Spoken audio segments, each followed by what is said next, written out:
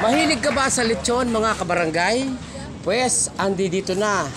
Kung gusto niyo ng lechon, beside the olive, makakabili kayo ng 4 kilong lechon or tingi-tingin lechon diyan sa Rich Palaboy Lechon.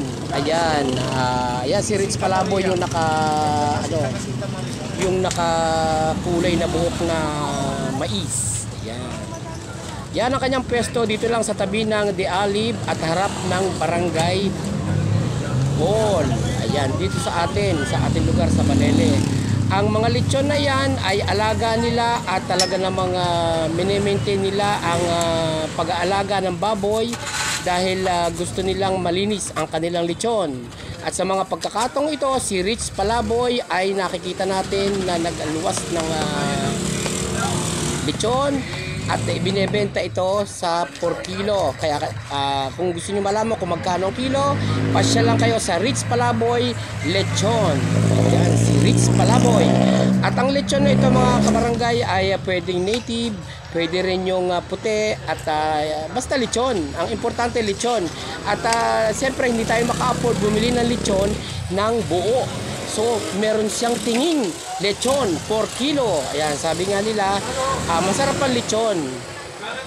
At ah, at ah, ang lechon na ito ay talagang alagang-alaga ni Rich Palaboy at ng kanyang ah, mga assistant.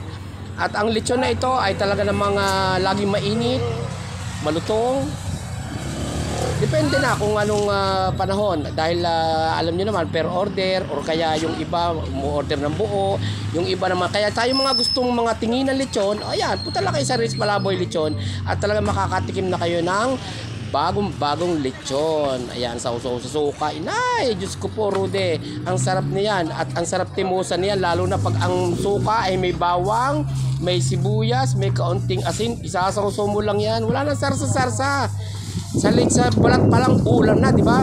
So, uh, inanya ako kay lahat mga kabarangay kung gusto nyo uh, makatingin ng lechon ay uh, bili na kayo, per kilo lang naman yan at saka hindi naman kung gusto nyo ng buo kausapin nyo lang si Riz Palaboy at makaka-afford na kayo ng lechon So simula ngayong araw na to, meron na tayong tingin lechon at hindi na kayo mamumroblema kung paborito nyo talaga ang lechon, whatever. Ang importante, meron tayong tingi-tingin lechon, di ba? Kung yan man ay 12 or 15 or whatever. Basta tayo ay makakatingin din ng lechon. Yan, eh. Ang pwesto sa tabi ng Di Alib at harap ng ating barangay hall. Kaya walang problema. Ang mga gustong maglechon at gusto ng lechon ay dyan lang kayo kay Rich Palaboy. Ang Palaboy na maglilechon na talaga namang uh, ika nga ay nakita ko at nasaksiyan ko sa mga oras na ito na ang kanyang lechon ay malutong. Skyflex ba? Tapos ah, medyo ika nga mapula, reddish na reddish yung kulay at talagang ah, hindi naman sunog importante, meron tayong nakakain lechon. At dahil tayo naman mga Pinoy talaga, ay likas sa ating mga Pinoy ang hilig sa lechon. Kaya pag sinabing lechon, Rich Palaboy Lechon. Thank you for watching.